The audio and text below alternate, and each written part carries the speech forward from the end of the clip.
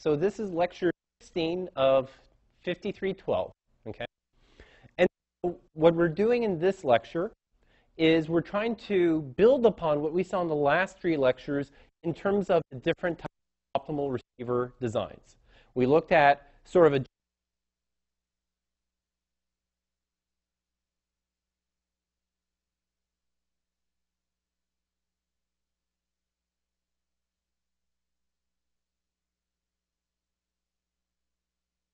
uh, correlator-based based implementations.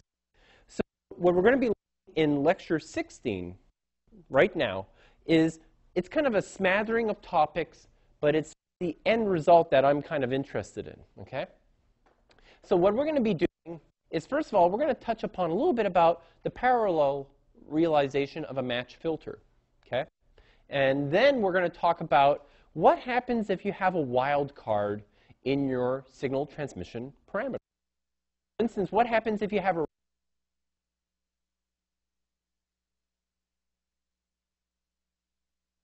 noise? How sort of like very topical treatments. We can we can go into lots of detail, but the real sort of message I want to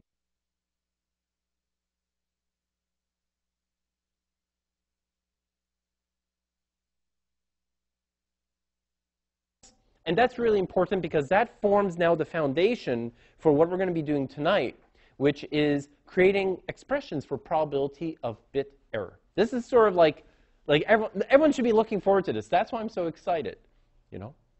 So, so that's what we're going to do. And then lectures 17 and 18 build upon this. So 17, we'll talk, to, we'll talk about the vectorization, the vector diagram for determining the probability of bit error.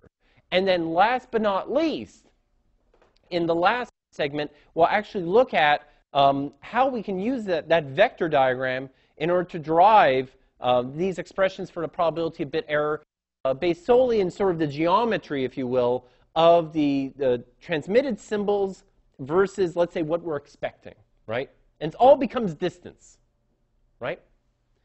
So before we jump into pro probability of bit error, let's sort of revisit our match filter realization.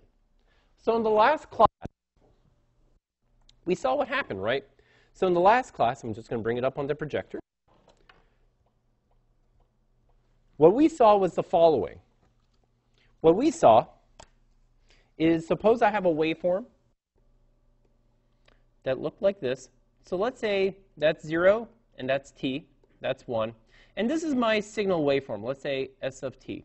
It turns out that the optimal matched filter for this guy turns out, okay, so let's say we do h opt of t will be equal to s t minus t. So what is this? It is a rotation. It's a, it, you flip it around the y-axis and shift by t to the right. If we do that here, what you get is, first of all, let's say we do the flip. Minus, let's say that's t over 2, and that's 0. And then, the next step is we now shift this by t to the right.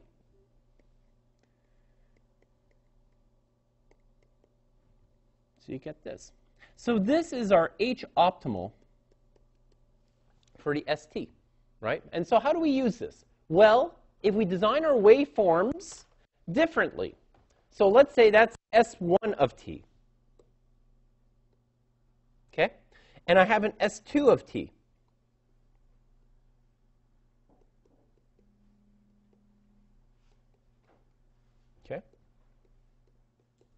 its H optimal is going to be quite different, right? It's going to look like, so that's H optimal 1. Uh, mixing up colors, bad me. And then here is 0 to t over 2. That is my H optimal 2 t, right? And so you might wonder how is employed? And the answer is simple. You convolve one with the other. You convolve one of these guys. So, so I choose rectangular. These pulse shapes can be anything, but the reason I choose rectangular is what happens when you convolve two rectangular, you get this beautiful triangular pulse twice the width of the original rectangular pulse, right? And what, what is really important to note is where it peaks. It peaks at t. So if, let's say, we return this guy, the way this would work is the following. Oh, come on. Is if I take, let's say, my incoming signal, and let's say my impulse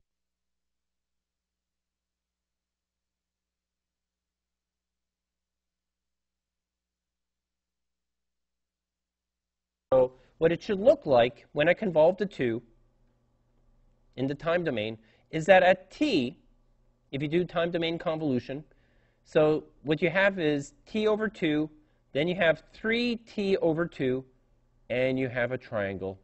And your receiver samples there. That's why it's peak SNR maximizing. What happens is we'll have noise and bad stuff there. That's not a problem. The noise will stay there. But my signal will be enhanced at a single point and which filter we use. So you might say, how do I realize this? The same way you would do with a correlator-based realization. What you do, and I think I'm going to upset people because I'm just going to delete this. No, yes. Oh, no, I don't want to save.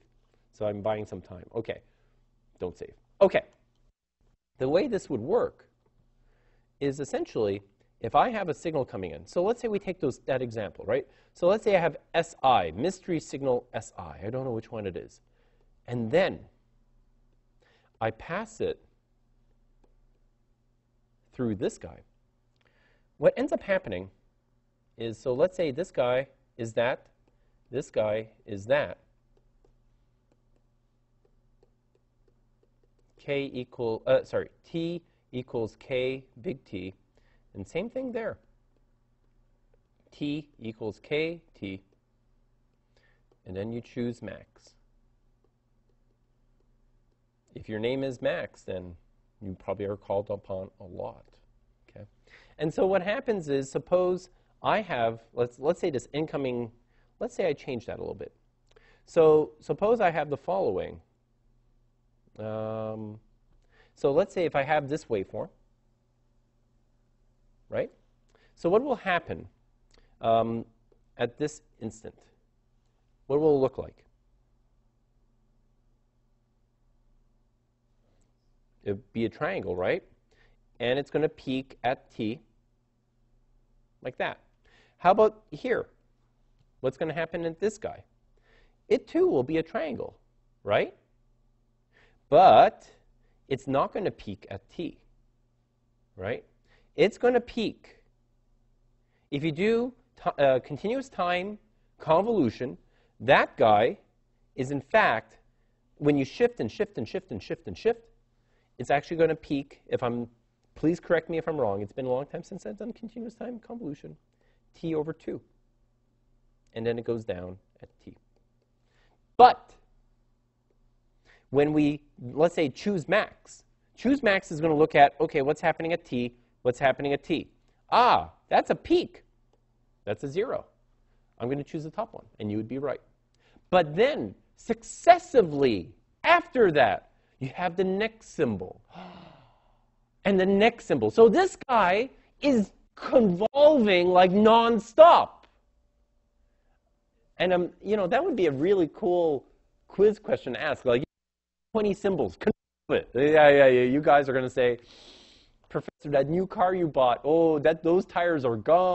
Yes, yes. Uh, there was actually one professor, remember, many years ago, he had like a really old car. This was like 1999, and his car was like from 1980.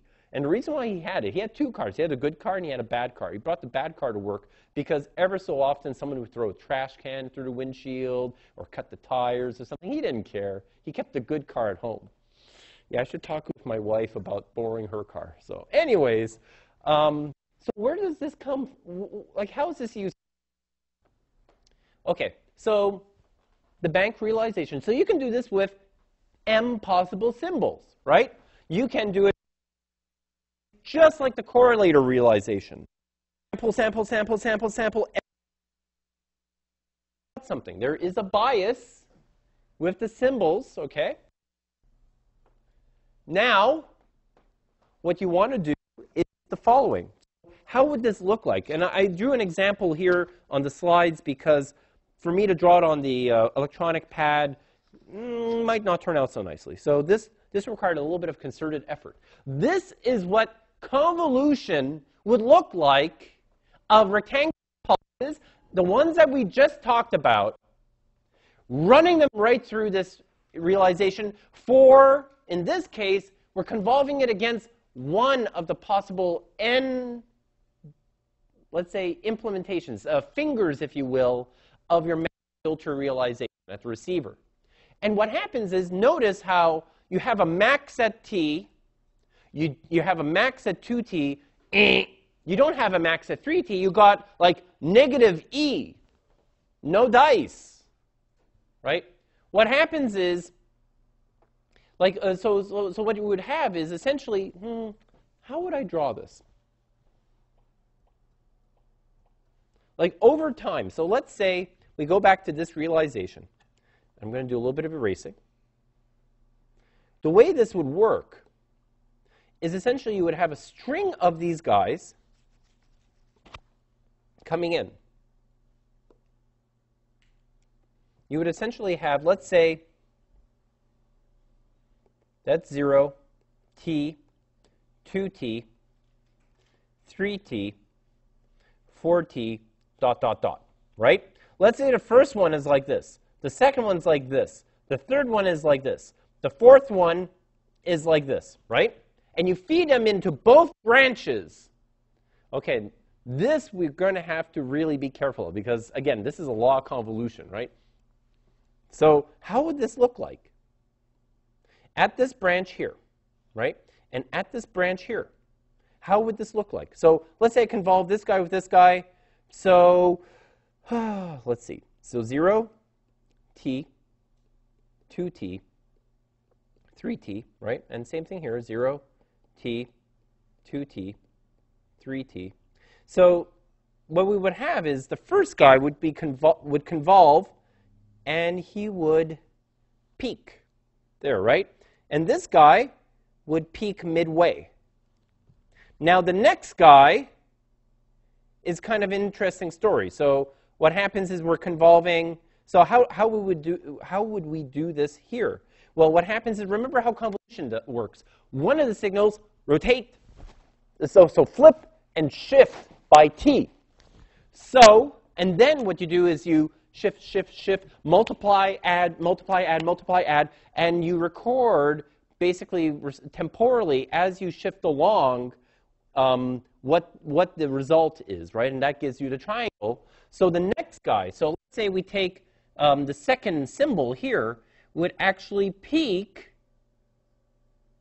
at 2t. And why is that? You, you essentially flip him around the y-axis, but not at that point. Basically, if the y-axis started at t, you flip him, rotate him around t, and then you shift him by t. And then what you do is, if he collides with this guy here, you, he actually misses, he doesn't peak at 2t at this branch, but he'll peak at 2t here. In fact, I'm trying to think, where would he peak there? Hmm. I think, if I'm not mistaken, he peaks midway, right? So notice what's happening. So this guy is obviously the upper symbol. So this, this branch here takes care of S1 of t and says, ah, you got an S1 of t in that symbol period. And this one says if you have an S2 in that symbol period in that branch. So what these guys are, they're, they're flagging.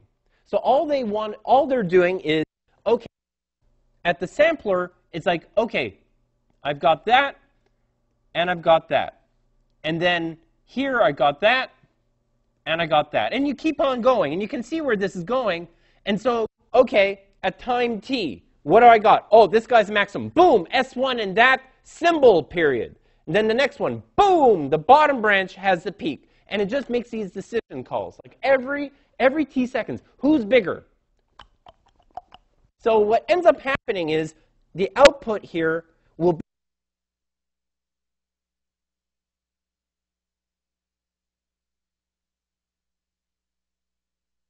would be 2, and uh, am I right? Or am I messing up altogether? Oh, God. But I think people are, so people understand what I, what I mean to say here, right? So what happens is if you have a cascade, and you might say, do the signals really look like this? No, they actually add.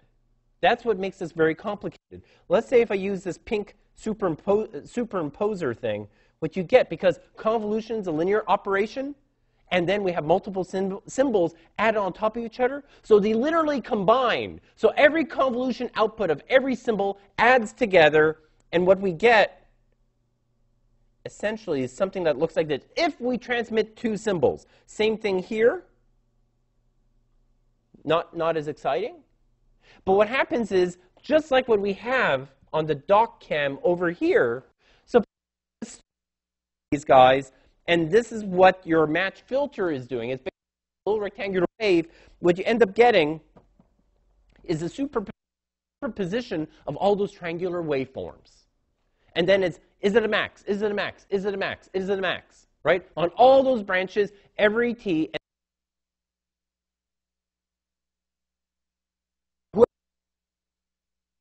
comes to is what we in that simple epoch. All right? Whew. Yeah, the only thing is continuous time convolution is not fun, right? Discrete time is easy. It's like you have a law of stems, but the continuous time you have to shift. Yes? Um, if it's the same as the correlator, um, not, not quite, because what happens is what we're trying to do is the correlator is trying to see how much information one symbol has in the match filter, on the other hand, what it's trying to do is it's trying to sort of enhance the signal as best it can under the conditions with noise presence. So, so, so conceptually, correlator says how much do these two signals match, uh, not match, uh, how much of these two signals have in common with each other? And the match filter, on the other hand, is it's designed specifically to create a peak. If it, it's almost like um, um, I don't, I really don't know how to describe it. It's sort of like, like if this is the signal at time t, it will be the largest possible output on that branch across all branches. But in some ways, you're right. Because what happens is what we're doing is the filter design is specific the desired symbol we're trying to match with. So we're hoping that they maximize in correlation, the deterministic waveform correlation, but, but we're not, we're not correlation. We're really just like, we choose a filter that results in the signal being the possible value it can against all possible po input waveforms to it. Okay? Good question. All right. So that's, that concludes match filtering. Now, the next step, oh boy, and this is like I'll get there, I'll get there, I'll get there But you should know a little bit about optimal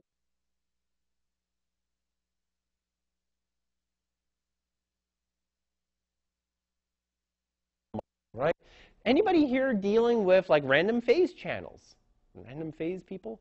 A little bit, right? The satellite communications. So, what happens is, what we've looked at so far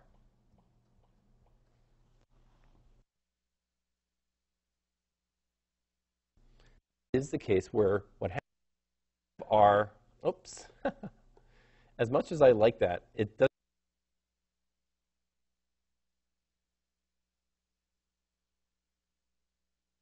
right? And we know that this is random, random, and this guy here is deterministic, right? We know that it could only be one of several combinations. Our receiver knows it, our transmitter uses it, we need to figure out which one, right? And this guy, by virtue of the fact that we have a random sequence, random signal embedded with that deterministic signal is also random. But this is sort of like an additive scenario, right? We're, ah, yeah, yeah, yeah. This is additive. What I'm interested in is suppose on top of this, we also have other sort of impairments. For instance, what happens if we have this like unpleasant random parameter called a? So now I have Si, T, A. And suppose one case is something like fading. How would fade, fading is unknown, right? It's the environment. How is fading caused? It's caused by a receiver point in space, and they're constructively and destructively combining, multipath fading. So, how would that look like? Like that. Little multiplicative thing. It attenuates and then it increases and stuff. Another is suppose you have the following. Let's say we call A here, and then we have it's equal to A, some amplitude, but that's not random, cosine 2 pi fc of t plus a, and a is some sort of phase term. So what happens is we have a random, it rotates our signal, and so imagine you're a phase shift keying. That's problematic, right? unless you're doing differential, right? If you use differential shape, uh, uh, phase shift keying, then shift key symbols coming in, what the difference between them are, not necessarily their absolute. So for instance, with BPSK, or QPSK is a, a great example, well, what happens is, depending on what their absolute phase is, that is their symbol. Whereas with differential, it's really sort of the relativistic. It's like, here's one incoming symbol, and then the next one. And really what we're looking at, their difference tells us what the previous guy and what the next guy and what the next guy is. So if you have a really serious issue with, with phase, use the BPSK, the QPSK, and, and such. So ask anyone who's doing my software-defined course, DPS,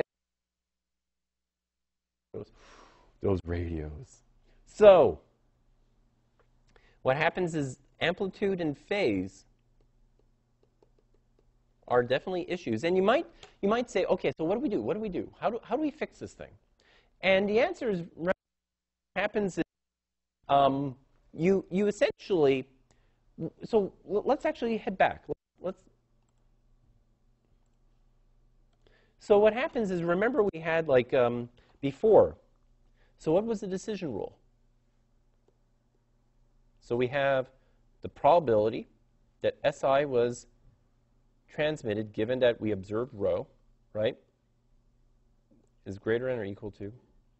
And remember that we generalize this. If we have M symbols, we choose the one that maximizes this conditional probability based on the observation. Now, what, what's it really Notice that, like, you know, we have these probabilities. Well, let's take this one step further. So suppose A has its own PDF. What we could do. This, so this is the trick in probability. So people say, okay, what's the probability I need for this course, okay? This is a trick. When you have multiple random variables in your expression, you use conditional probability, you have one that's random, and you assume everything else is known, it's fixed. And that way you sort of tear it apart and you treat it piecemeal. So what you do is you say, let's say in our case, so this is not our case. Get rid of that. Our case, you have the observed, and you also have A. Right? And then you also have So what this tells me is that I hold a constant. But, but I can't leave it like that. Oh, no, no, no, I can't leave that like that. No, no, no, no, no, no. So what do I do?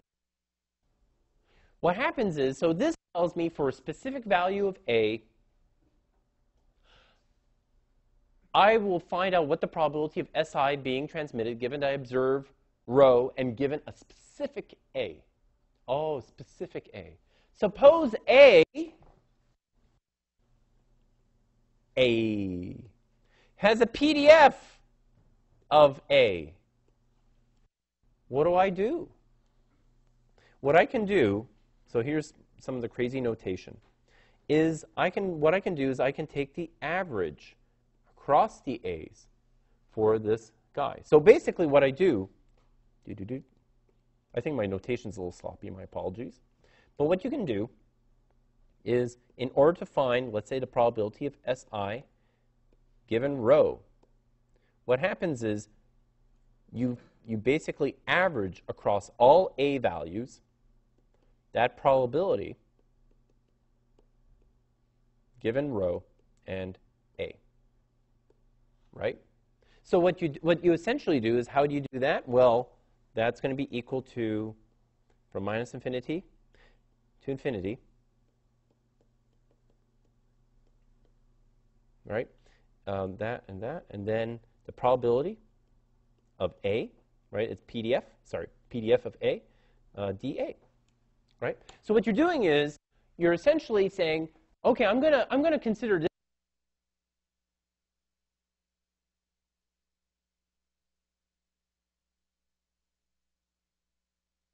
The probability specific A, I multiply it, I weigh them, I average them out, right? And you do, you do this very much with either amplitudes, with phase, with whatever is random signal. So in, if we go back to the doc cam, you know, so so we go to the next slide. What you you can do is like way in the slides. What happens is here, exactly that. What happens is assign it to some sort of function gi of a, and you average that. That's exactly what I wrote. wrote. And so what you do at the end of the day, you can also, the little trick, okay, step two. So step one we saw. Step two, the mixed Bayes rule, what happens is A still stays in a condition, right? A still held fast. But I switch around the rho and the SI. It's still legit. And so what happens is when I do that and I work it through, it's actually interesting. Now what I have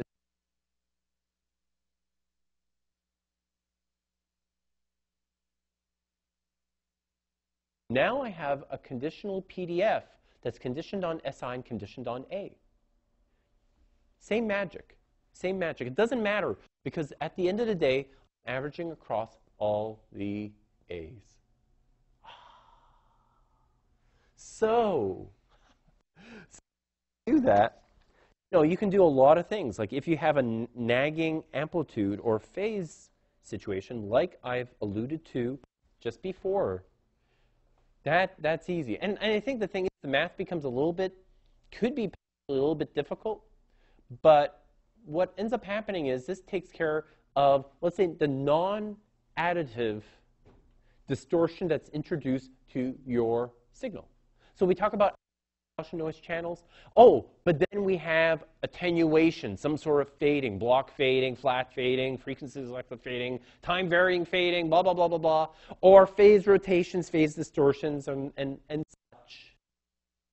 Perhaps we even have a little bit of jitter due to a bad clock. Oh, jitter, love you. What happens is all of that can be characterized by a random variable, and then what we do is we average it out. Because ultimately, what I care about is the average, right? I don't care. Like, that's the thing. None of you should, be, uh, should fall into the trap of looking for the instantaneous sort of solution. We always care about, like, you know, like, you know, for instance, like if, you, if your boss, you're working for a cell phone company,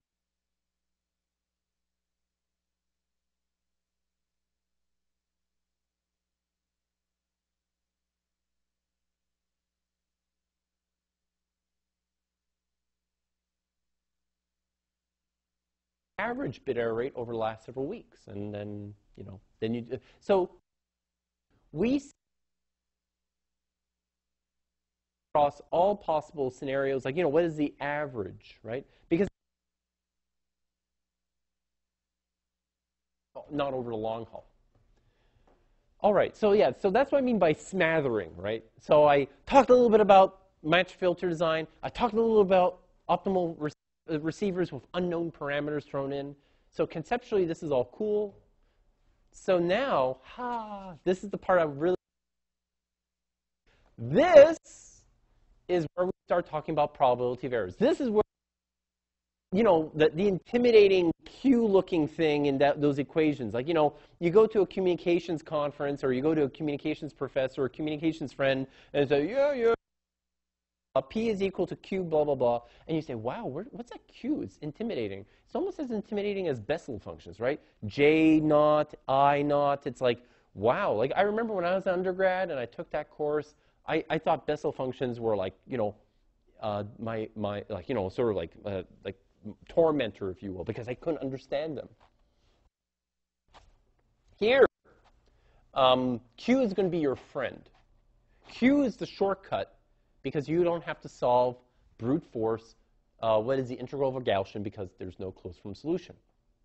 So what happens is we go back to our hypothesis, um, uh, sort of like sorry, uh, sort of like we, we have these two hypotheses, H1 and H0, and what H1 and say is essentially, is S1 present in this noisy signal or is S2 present in this signal? And we saw what the advantages of playing in waveform space are and what it is when we play in the vector domain. So, so we have these hypotheses. And what we want to do is, let's say we have, we have the waveform representation, vector representation which is this guy here. And so what we're going to look at for classes, we're going to sort of, like, we, we touched upon this a little bit before when we talked about the vectorization of various types of modulation schemes. Now we're going to go in depth. So we talked a little bit about this. We talked about what R is represented. In fact, what is R? The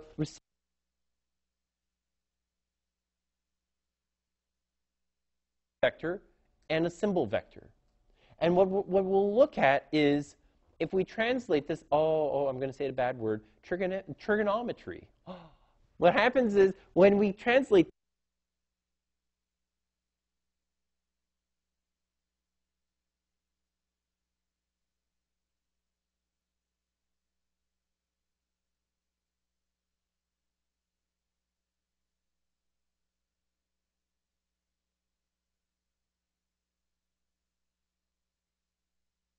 no surprises. You have the waveform representation, and we can do everything in waveform space, and we'll get the exact same answer, but it might be a bit tedious and not intuitive, or we can play around in vectors. So we play around in vectors. First thing, let's go back to our good old friend decision rule, right?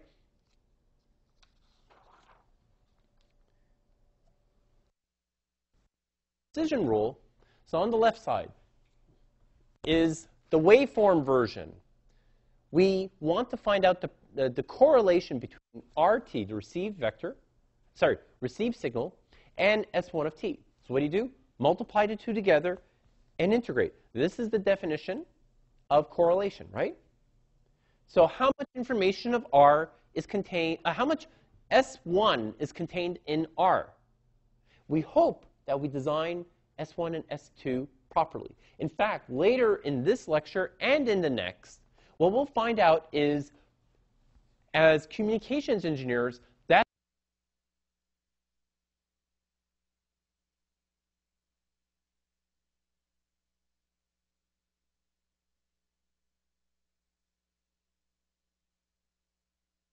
They will be like night and That's an S1. You sure? Oh, yeah, I'm pretty sure. That's what we want. Like, you know, we want our rate.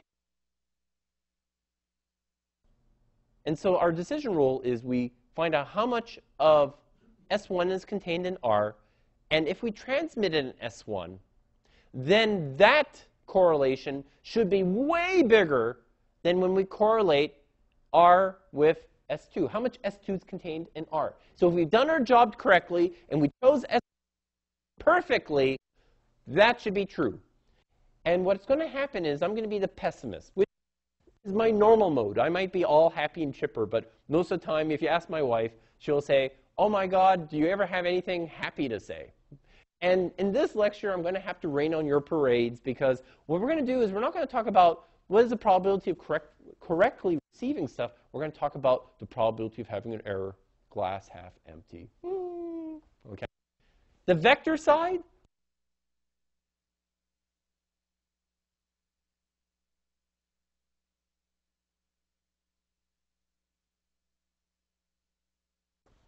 So what we want to do is, what is the error situation? So, okay, now we're getting negative.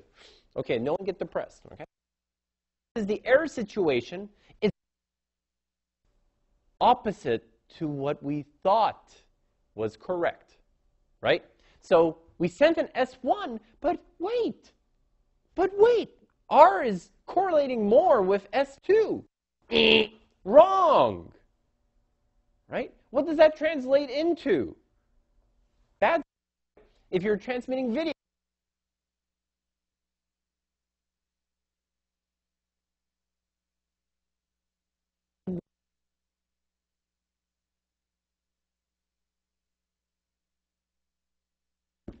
This is the really cool part of this part of the course.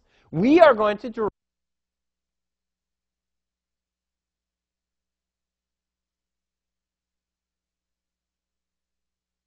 And we're just going to delve into, and you know, maybe that's a good sanity check for everyone. Okay. So what happens is, you know, we can we can do it this way. So what happens is, it's the same thing. Oh no no no no no no. Come back here. So it's the same old premise. So what's our decision rule? Okay. So integrate from 0 to t r of t with s1 of t dt. And the decision rule, what we want to happen is this. Let's suppose we assume just two signals. And we assume that S1 of t is transmitted. Okay? So this is good. No error. Happy face. Happy face. Now, what happens is when this happens, oh, that's bad. That means this is the error situation. Okay? That's not happy. So what do we do? What happens is, let's expand this a little bit. During my office hours, I think we did a little bit of this, but let's, let's, let's do this a bit more. Okay? So what happens is, the first thing you do is you take this guy and you say, what is he equal to? He, because we transmitted S1 and has noise added to it, is equal to S1 of t plus n of t. And here too. Now, if we now expand that, what you get is this. You get S1 of t. That should be a 1, folks. S1 of t dt. And then we have plus 0 to t, n of t, S1 of t dt, less than or equal to S1 of t, S2 of t dt, plus 0 to t, n of t, s2 of t, dt. And you might say, okay, so what? What happens is, first of all, we, we do a few things. So first of all, this guy here is the energy of signal 1, right? We correlate it with itself. It gives us the energy. What else do we see? Well, I see this term here. This guy is the correlation between S1 and S2. So that is rho 1, 2. And these guys here, we're going to group together because it's a linear operation. So if we do that, ah, sorry.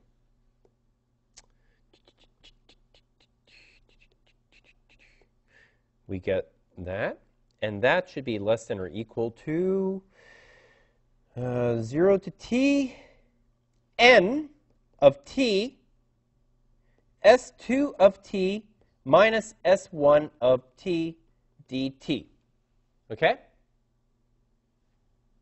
And so what we want, let's say we call this guy,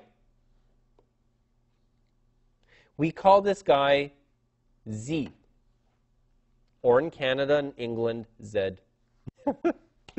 so what happens is we want to know what is the distribution of Z, Z, whatever you want to call it. Right? So what we want to do is we know that n of t is AWGN. We know what these guys' properties are. Let's dig in deeper. B should be equal to. And in fact, that's actually derived. Ha. So if we go back, we have this guy. And the first thing we see off the top of our heads is that this guy is going to be zero mean. And you might say, how did you get that? And the way I know I, I'm, I'm, I have to go back to the whiteboard.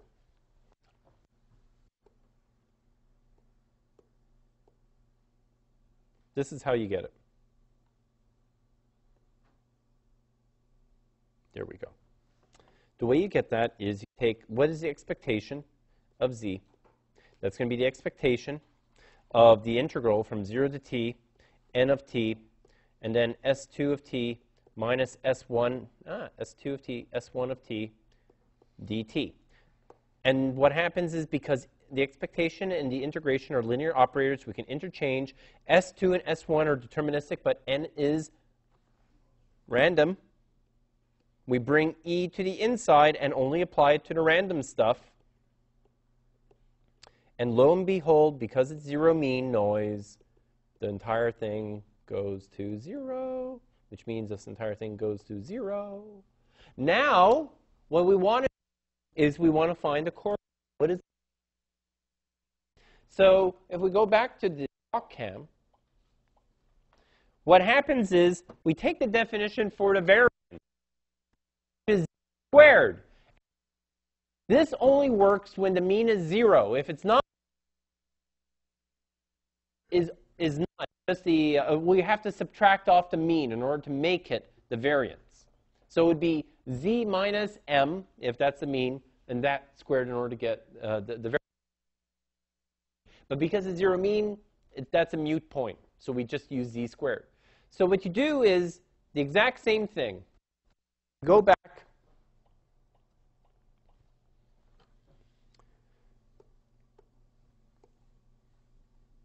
So you take that guy.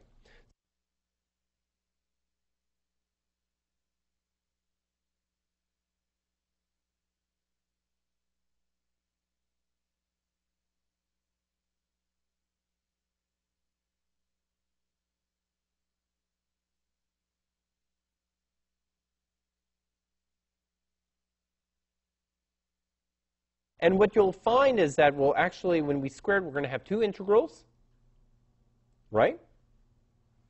So what we're going to get is, let's say we do this. So we're going to have n of t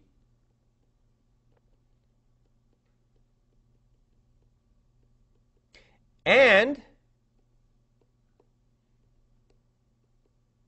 n of tau Better keep the time variables separate.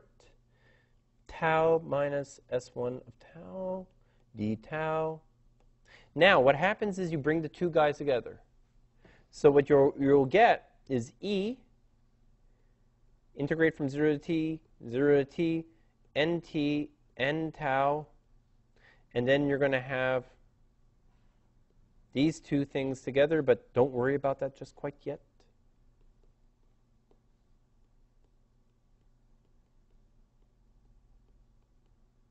Oh, I think I screwed up. There we go. That's right. dt d tau. And then, just like before, take this guy and apply it to bring it in, because it's linear operators. It applies to this group only. And what do we know about the noise? It is white, which means it's uncorrelated with any other time instant, but it's tau has to be equal to t, which means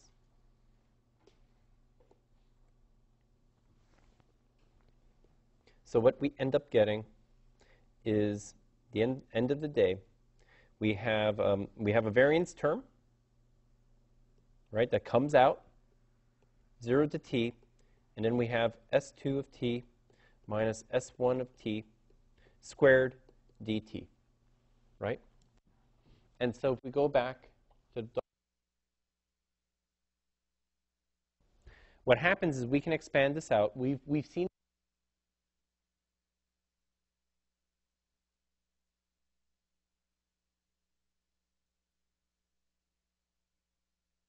energies are identical. And so what gives us, at the end, what this gives us, we can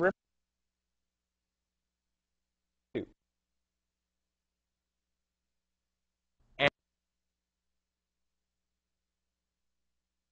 tells me is that the variance of my signal now is um, of noise that has been multiplied by the signals and then integrated is equal to the power spectral density of the noise times the energy minus the correlation between the two signals. Well, Because why do we need this? Because what happens is we're going to use that. Like remember our if we go back to what our expression was like before,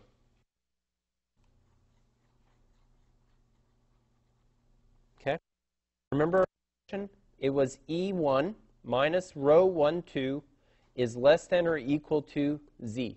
Is that correct? Right? Now, what happens is, what is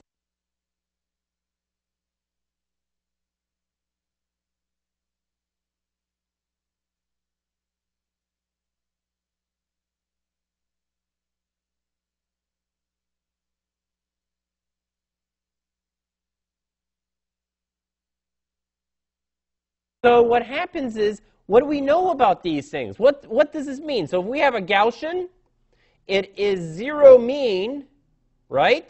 It has a variance, right? What happens is, what does this guy tell me?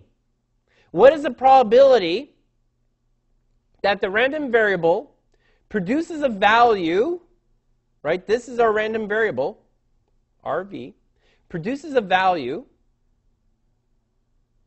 I'm trying to think. Is it? Um, so no, I'm trying to think of it the other way. Yep. So produces a value that's greater than or equal to E1 minus rho 1, 2. Yeah, I'm, I'm uh, got kind of confused there. So what does that look like? It looks like this. There, folks, is E1 minus rho 1, 2. It is the area underneath the curve all the way to infinity. This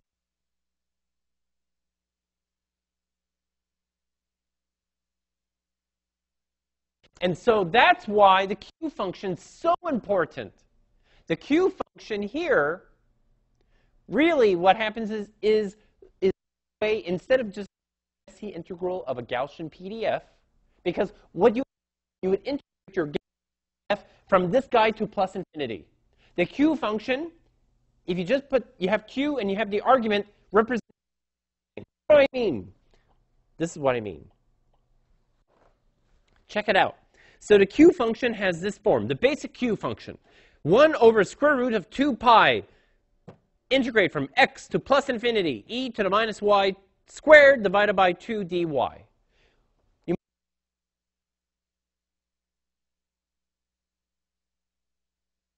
It's totally what happens is what happens is what we're left out we've left out here is the sigma squareds we left out, if there's a non-zero mean Gaussian, we left it out of the y. What happens is you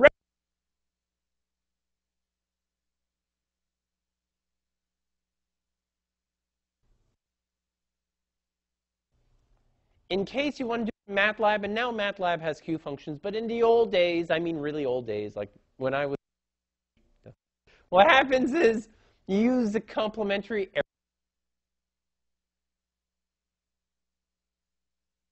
All right? And so there's those beautiful tail probabilities I'm telling you about. And what happens is when you compute the probability of error using those Q functions. So, so where did I get this guy from? Essentially, this is an exercise for all of you. What happens is solve for this integral. So this integral, we're integrating from e, right, to infinity.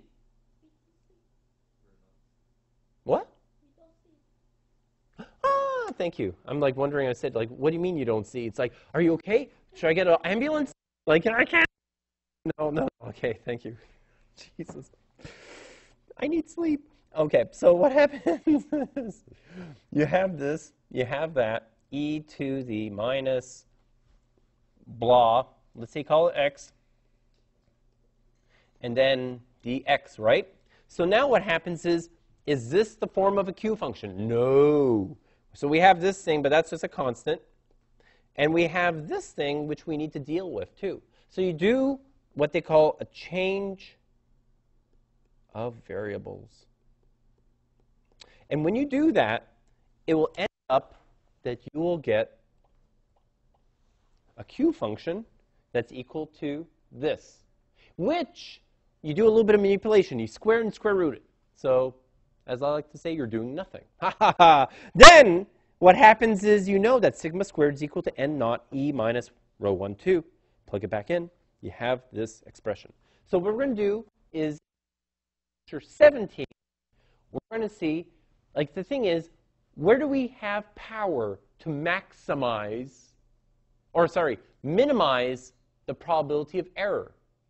And so how does a Q function work? Well, what happens is the smaller the value in the Q function, right? Um, so let me think. Smaller the value or larger the value?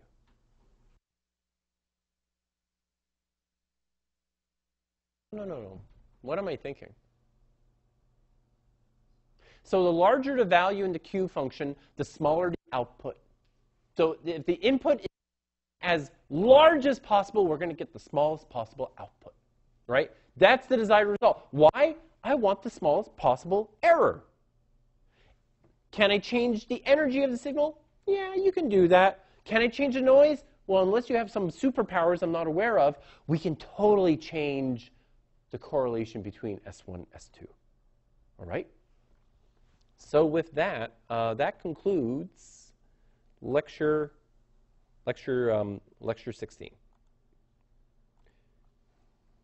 Okay.